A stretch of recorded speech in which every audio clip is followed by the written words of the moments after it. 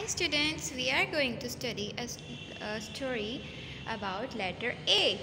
Okay, listen properly and you will give me a response at the end.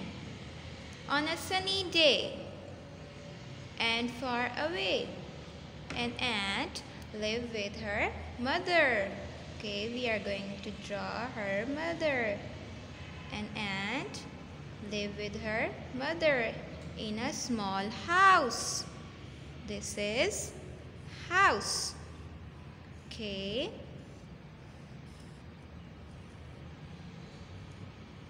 The little ant asked her mother to play outside the house. The mother agreed. The small ant went outside the house toward the apple tree. Apple tree. When she headed toward the apple tree, suddenly an ant eater came up. Ant eater came up.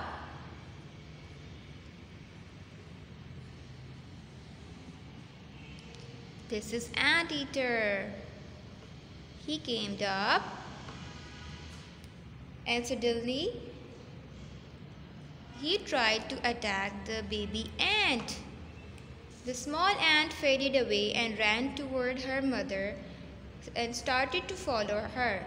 The ant entered quickly and hugged her mother tightly. It was frightened.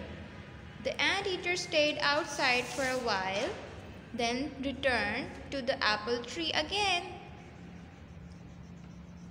Then mother came from out from the house and beat the ant eater really bad, he go away. He go away. Then the baby ant become happy. The baby ant become happy.